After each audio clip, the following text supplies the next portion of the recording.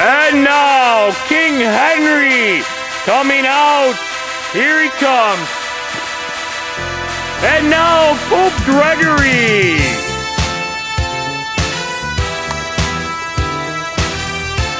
To the gates. On your mark.